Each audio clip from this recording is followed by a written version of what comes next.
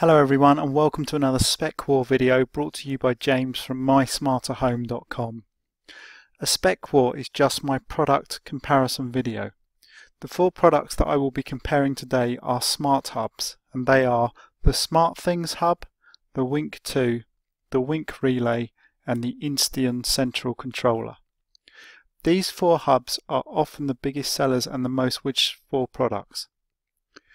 This video has nine different sections and they are Section 1 Basic Specifications, Section 2 Connections, Section 3 Design, Warranty and Power, Section 4 Smart Features, Section 5 Remote Access, Section 6 Smart Home Systems, Section 7 Compatible Devices, Section 8 Box Contents and Section 9 reviews and ratings. These sections are listed below this video and to move quickly bet between them click or tap on the different times. So let's get stuck in.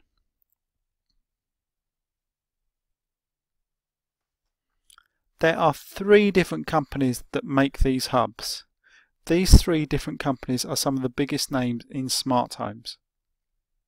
Two of the hubs are made by Wink one is made by SmartThings, which is the smart home arm of Samsung. The other hub is made by perhaps a less well-known company called Insteon. The oldest hub in this comparison is the Wink Relay, which was first for sale in September 2014. The newest product is the Wink 2, which was first for sale in September 2016. The SmartThings Hub, which is version 3, was released in June 2015, whilst the Insteon Hub was released in May 2015. As we continue with this comparison, you will see that the Wink Relay operates in a slightly different way than the other three hubs in this comparison. What is interesting to me is, is that compared to other smart home devices, which tend to be updated at the minimum every year, all of these hubs are relatively old.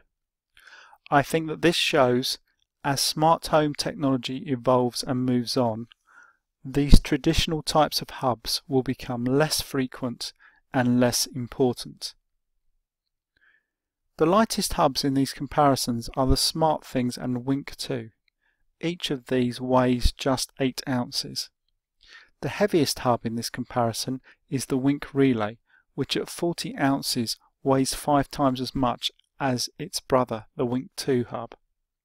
One of the biggest reasons for this is that the relay has a built-in touchscreen that the other hubs just don't have.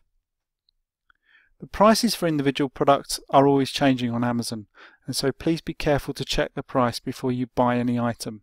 The most expensive hub is the Wink 2, which currently costs $99. The cheapest is the Insteon, which costs just over $60. The SmartThing hub costs just under $80 and the Wink Relay costs just under $70. Any smart hub needs to be connected to a home Wi-Fi network. They can do this using a Wi-Fi connection or an Ethernet cable. The two Wink hubs are the only ones to use Wi-Fi. Wink Relay can only connect to a home Wi-Fi network which runs at a speed of 2.4 GHz. This in practical terms means that it can connect to the overwhelming majority of home Wi-Fi networks. The Wink 2 can connect to Wi-Fi networks that run at a 2.4 GHz and also networks that run at a 5 GHz speed. Most modern Wi-Fi routers have Ethernet ports. These ports allow you to connect a few devices to the router using a cable instead of just relying on everything connecting to it via Wi-Fi. Three of these hubs use an Ethernet cable as a connection to the Wi-Fi router. As I have just described above, the Wink 2 can connect to your, your Wi-Fi router using a, a Wi-Fi connection, but it can also connect to a router using an Ethernet cable, and this is the recommended method. The SmartThings hub and the Insteon hub need to be connected to the router using an Ethernet cable. The two Wink hubs are the only two hubs in this comparison that use Bluetooth as a connection. The SmartThings hub and the Wink 2 hub are the only two hubs that have storage. Both of them had 5, 512 megabytes.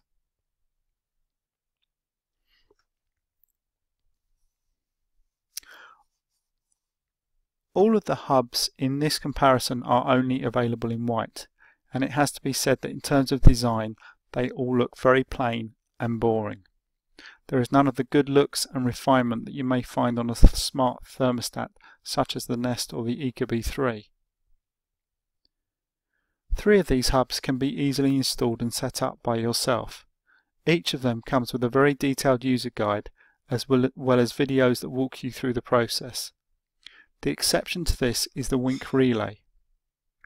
Unless you are very competent and experienced in household electrics, then this hub needs to be installed by a professional. The reason for this is that it needs to be installed in place of a single or double light switch, and so in order to install it you are actually altering your home's electrics. The Insteon hub has a two-year limited warranty on it. All the other hubs in this comparison have a one year limited warranty and a 30 day money back guarantee. The Wink 2 and Insteon hubs need 120 volt power cable. The SmartThings hub is powered by four AA batteries which are included in the box. The Wink relay is powered using wires that you would usually use to power a light switch.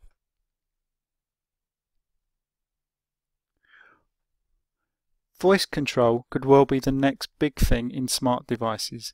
The Amazon Echo and Google Home seem to be leading the way in this technology. They are turning themselves into the next generation of smart hubs. Unfortunately, none of the hubs in this comparison use voice control. The next three features all relate specifically to the Wink relay. It is these three features that show how different the relay is as a hub compared to the other hubs in this comparison. The Wink Relay is the only hub to have a touchscreen and it is 4.3 inches big. The relay is the only one of the hubs to have sensors built in. It has three sensors, proximity, temperature and humidity. The proximity sensor is a pretty cool feature because it means that as you get close to the hub, it senses your presence and it lights up. The Wink relay also has a microphone and speaker built into it. This feature is only useful if you have other Wink relays around your house because then it can turn itself into a really good intercom system and you can have conversations with people via your relay. Remote access is the ability to control your hub without physically touching it. This is normally done through specifically designed apps for smartphones and tablets. In this comparison, the Wink Relay is a little bit different because it has the app built into its touchscreen. Some of the very best smart devices also allow you to interact with them using a web browser. If you're using an iPhone or iPad, then the SmartThings, the Wink 2 and the Insteon Hub all need to be running version 9 or later. If you're using an Android phone or tablet, then the requirements are slightly different for each of the hubs. The SmartThings hub needs to be running version 4.1 or later. The Wink 2 hubs needs to be running 4.0.3 later. And the Insteon needs your Android phone or tablet to be running version 3 or later. Two of these hubs provide apps for Windows Mobile. The SmartThings hub needs your Windows phone to be running Windows 8.1 or later, and the Insteon needs your phone to be running Windows 8 or later. Most smart devices do not provide Windows apps because there are so few users on this platform.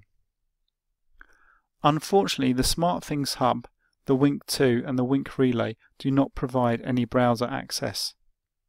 However, the Insteon does, does, and I think this is great for us, for those of us who still use laptops or desktops quite frequently and want to log in remotely to our device using a web browser. Because the smart home market is so large and so lucrative, there are many different systems available.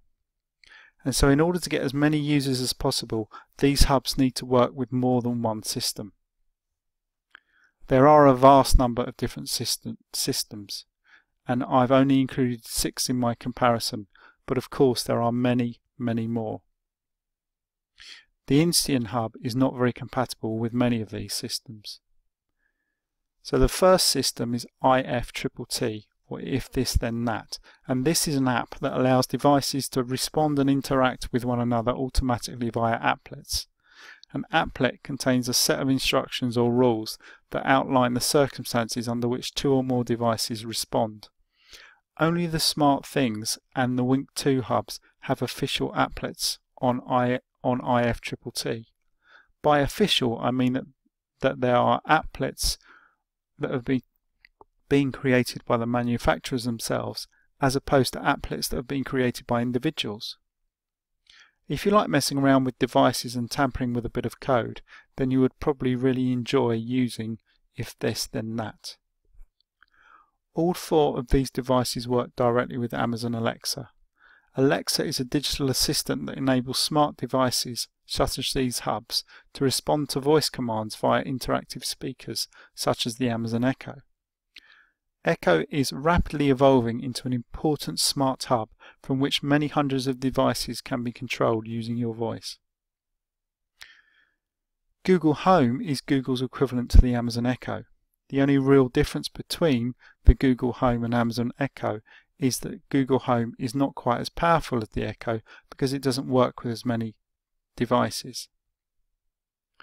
Three of the hubs in this device in this comparison work with Google Home. They are the SmartThings, Wink 2 and Wink Relay. Only one of these hubs works with Apple HomeKit and that is the Insteon. However, you need to buy the HomeKit version of the Insteon hub which is compatible with HomeKit. Z-Wave has traditionally been one of the biggest smart home systems. The SmartThings and the Wink 2 hub are the only hubs in this comparison that work with Z-Wave. Zigbee is traditionally another big name in smart home systems, and the Insteon is the only hub in this comparison which is not compatible with Zigbee. In this section I want to focus on some of the compatible devices that work with these hubs. I've included some of the biggest selling types of smart gadgets such as thermostats and then added some of the most well-known brands and manufacturers for them. However, it's important to note that my list is not exhaustive or complete. It only shows a selection. Cameras. The SmartThings hub is compatible with Arlo cameras. The Wink 2 hub is compatible with Arlo and Canary smart security cameras. And the Insteon works with a smart camera that it makes itself. Smart doorbells. Perhaps the most famous brand of smart doorbell is Ring, and SmartThings and the Wink 2 hub are compatible with these doorbells. I could not find any doorbells that the Insteon is compatible with. The SmartThing hub works well with Yale locks. The Wink, Wink 2 hub works with Yale, Kwikset and Schlage locks. And the Insteon works with MyLocks. I don't think, think that the SmartThings hub works with any thermostats, although I could be wrong, so if you know of any thermostats that work with the hub, then let me know. Nest, Honeywell, Ecobee and SensiTherm thermostats will work with the Wink 2, and Nest thermostats will work with the Insteon hub. The SmartThings hub works with LIFX and Hue bulbs. The Wink works with Lutron, Sylvania and Hue bulbs. Insteon Hub works with its own brand of smart bulbs. The SmartThing Hub works with Bose speakers. I could not find any speakers that work with the Wink 2 hub. And the Insteon Hub works with Sonos speakers. On this chart I show you what's included in the box when you buy one of these hubs. I think the main thing that this chart highlights is how different the Wink Relay is from the other smart hubs. all of the hubs come with an Ethernet cable, apart from the relay. The two hubs that come with an AC adapter are the Wink 2 and the Insteon.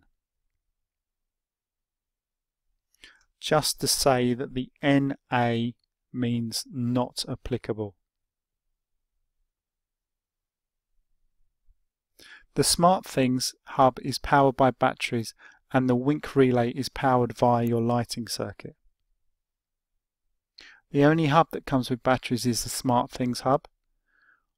All the hubs comes with written instructions or start guides apart from the SmartThings, which I presume would come as part of the app. The only hub that includes extras is the Wink relay because it is so different. This hub comes with a full set of tools including a screwdriver, a wire stripper to help with the installation. To finish the video we will look at the ratings and reviews that these thermostats have received on Amazon. What I've tried to do is show some of the most helpful statistics. To state the obvious, these numbers will change on an almost daily basis, but I think that the overall trends that these numbers reveal will not change that much. None of these apps or none of these hubs have a rating of over 4 out of 5, which to be honest is very poor. The Wink 2 has a top rating of 3.9 out of 5, the SmartThings Hub has a rating of 3.8 out of 5, the Wink Relay is 3.5 out of 5, and the Insteon is 3.3 out of 5. Written reviews. The SmartThings Hub has the highest number of written reviews. It has over 1,800. The Wink 2 comes next with 550. The Wink Relay has 375 written reviews and the Insteon has 258. The SmartThings Hub has the highest number of answered questions as well, with over 550. The Wink Relay has 375 answered questions and the Wink 2 has 150 answered questions. The Insteon has only 76 answered questions. The percentage of the reviews which are rated as 5 stars is an important indicator of satisfaction. The higher this percentage, the more satisfied buyers are. For the top smart products, this percentage tends to be in the 70s or 80s. None of the hubs in our review have such high figures, they are all low. The Wink 2 has only 57% of all of its reviews that have rated it as 5 stars. SmartThings has 49%, the Wink Relay has 40% and the Insteon has 30% of all written reviews giving it as rating it as 5 stars. In contrast, 1 stars reviews is an important indicator of dissatisfaction. The higher this percentage is, the more disappointed buyers are. For the top smart products, this percentage tends to be 5% or lower. The figures for the hubs in this comparison show that the buyers are not very satisfied. The Insteon has a massive 31% of all of its reviews that rate it as one star.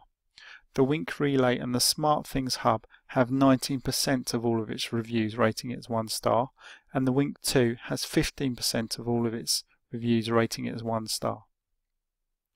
FakeSpot is a website that analyzes a product's reviews on sites like Amazon and then gives them a reliability grading.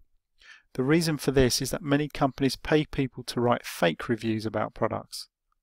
The higher the grade, the more trustworthy that the reviews are. It is the same grade system used on school reports. The SmartThings Hub is given the best grade, its reviews are graded as B, which is good. In second place comes the Wink Relay. Its reviews are graded as a D, which isn't great. And in joint last place is the Insteon and the Wink 2. Both of these hubs have been given an F grade for the reliability of their reviews. And that's it for my spec war Thanks for watching this review. I hope that my comparison will help you to decide which is the best smart hub to go to go for between the SmartThings, the Wink 2, the Wink Relay and the Insteon. If you have any questions, please ask me. If I've made a mistake, please tell me. Or if you have any ideas for my next review, let me know.